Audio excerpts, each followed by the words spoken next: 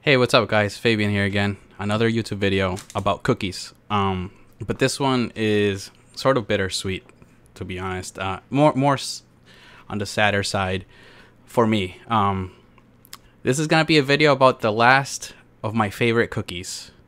I don't know if a lot of people around the world have ever had the chance to film themselves eating their favorite thing for the last time. Um, but yeah, I, I wanted to record this so that I could always look back at the last time I ate my favorite cookie. So the last video was about Oreos. This not my favorite cookie. Yeah, if if you're in my family, you know that my favorite cookie um, is from the city I was born in, Bucaramanga, Colombia, and it's a it's this one right here. It's uh, called Choco Petit from Galletas La Aurora. Uh, traditional cookies since 1937. So these are this was a small factory in Bucaramanga. Um, that I last I looked on Google, it only had like I don't know, like 15 employees in the main factory, and there were other stores around the the city. Um, but yeah, you could only get these in Bucaramanga. So even though I moved to the U.S. in the early 2000s permanently, uh, my family would always bring them to me when whenever there was a trip made. Now th- the the factory made a different styles of cookies. Um, this it's like a traditional wafer. It's not a wafer. It's like a hard, um, like dough. I don't know what you call it. It's like a hard cookie. Like cr- it's crunchy when you break it. Um, but that's the traditional, and they would also add like this one right here. As you can see, it has like um, like some sort of strawberry uh, filling, and there was also lemon. Um, and but my favorite was this chocolate petite, right? So the chocolate petite, it came in a package like this, and there's four cookies in here, and these are the last, probably the last. I'm almost certain these are the last of its kind because I've had this in my closet. I I would save them, um, for when I really wanted to like have one, like crave them. Um, and I told you like I moved into to the U.S., so I can't get them that often. I would have to wait for a relative or a family friend that was coming from Bucaramanga to the U.S. and then have them shipped from Florida, from New York, I don't know, anywhere. Like they would come if they did me the favor, they would ship into my house. Um, but yeah, this is I, I almost guarantee it. Like who else has hoarded a, a package of cookies in their closet for almost two years, right? So this was this was uh, this expired in November of 2021. So it's we're almost at a year over the expiration date, which means I had it way before that. Um, so I probably ha- I have had this package for quite some time, and this is the last one. I was hiding it for a special day, and I feel like today is the day. I'm craving it, and I've been thinking about making this video for a while. I've been postponing it. Like I'm like, all right, I'm not feeling it today. It's got to be perfect. I, I don't, I can't like mess it up. Uh, the kids are not home. Anna's on her way home from work um, to pick up the kids. So I'm like, all right, I got some time. Let's do it. Let's just get it over with. It's gonna be a sad day, but you know, whatever. I, I'll record it. Um, just for my entertainment, to be honest. Also, I just uh, want my kids to know what your his their dad's favorite cookie was, and um, my family will probably get a, a laugh out of this. Um, all right, so what can I tell you about this? Um, I my uncle actually a few months ago, when I was already thinking about making this video, my uncle Diego sent me a WhatsApp video that was awesome. Um, I couldn't believe he the timing of it. Um, because he uh, he knew that I, I was kind of sad that the company closed. Uh, I'll get that into that in a little bit, but um, yeah, he sent me that video which tells the history of it. So let's watch that now. Um, let's watch that while I enjoy one of these cookies. But let's let me open it first. Um, yeah, it's probably like the chocolate is probably not the freshest. Um, but I've had them kind of old before, and they don't taste bad. They don't get moldy or anything.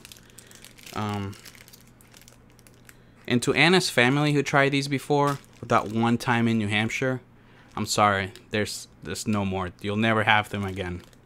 That was the last time. That was the first and last time you ever had them. So sorry. So basically, yeah, this is the cookie. It's just chocolate. It's like dark chocolate. That's what I like about it. It's like it's like real dark chocolate. It's got a it's got a unique taste. I've never tasted anything like it in the U.S. So um, while I eat this one, we'll we'll watch this short video. It's in Spanish. It's only a minute. I'll summarize it um after, but it'll be good for the people that know Spanish that want to know a little bit about the history. So let's just quickly watch this. Cosas que tal vez no sabías de Bucaramanga y las galletas Aurora. Párele bolas.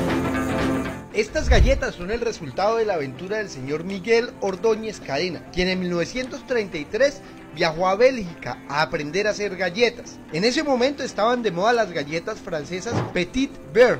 Así se veían, y así se ven las nuestras. Pues en 1930 Bélgica se independizó y estaba en un auge económico impresionante. En ese momento, Miguel Ordóñez decide traerse una máquina a Bucaramanga y con ella fundar Galletas La Aurora. Miguel Ordóñez era un personaje muy particular, era antropólogo, arqueólogo, pasó los últimos 20 años tratando de descifrar las escrituras rongo rongo de la isla de Pascua. Su traducción hoy está en el Museo Británico de Londres y en distintos museos. Es el padre, entre otros, del polémico procurador Alejandro Ordóñez, quien en algún momento declaró que su primer trabajo fue cazar ratones en la fábrica de galletas. Hoy, las galletas La Aurora hacen parte del patrimonio de Bucaramanga.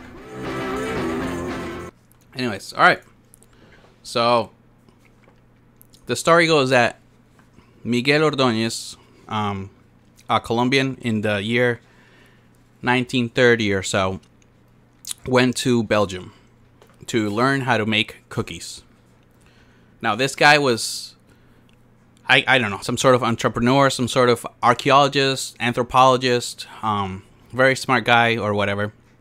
And he went to Belgium to try to learn cookies. At the time, in the early 1930s, there was a very popular cookie, uh, French cookie, uh, in the same sort of style as this uh, La Aurora cookies, which was uh, a French cookie called Petit Beurre, whatever it was on the video. So Miguel went to Belgium to learn how to make the cookies, bought a used machine and brought it back to Bucaramanga and started his factory. So I guess they started making cookies in 1937. Um, and the video talks about him being like an archaeologist, uh, making some high translations for ancient ancient scriptures and stuff like that. Um, and his son was like an ambassador of Colombia. Anyway, so he was very well known. And I was looking at to why this place closed down, and sadly, it was due to COVID. Uh, I think COVID hit a lot of my favorite childhood places in Bucaramanga. There was another place that made empanadas that closed. Uh, my sister's favorite bakery also closed. Um, and it didn't help that the COVID situation um, and I think that the owner also died in last year. The the the, the whoever the CEO was or the founder. I, I, Miguel was it Miguel? I don't know who. I I think it was Miguel or his son. Um, also died. So with COVID and the CEO like dying, uh, I, it was hard, I guess, to keep the company up.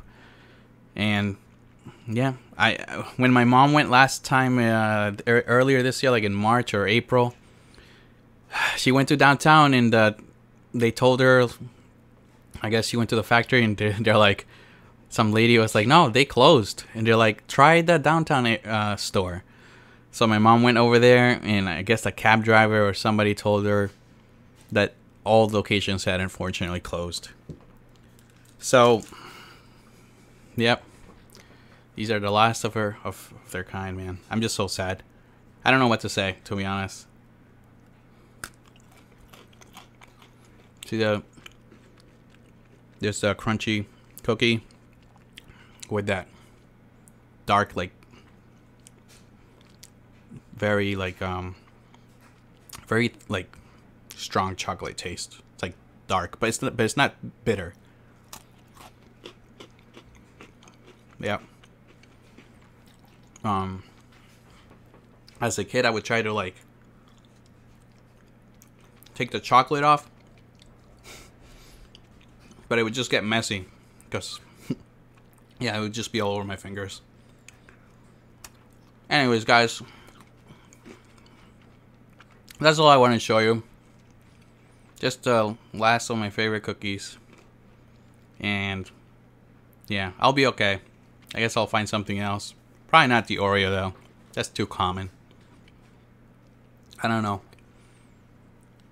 Yeah, let me know. What's your favorite cookie? And if you've ever had this kind of weird experience uh, or chance of trying something out for the last time, like you know it's the last one you'll ever eat.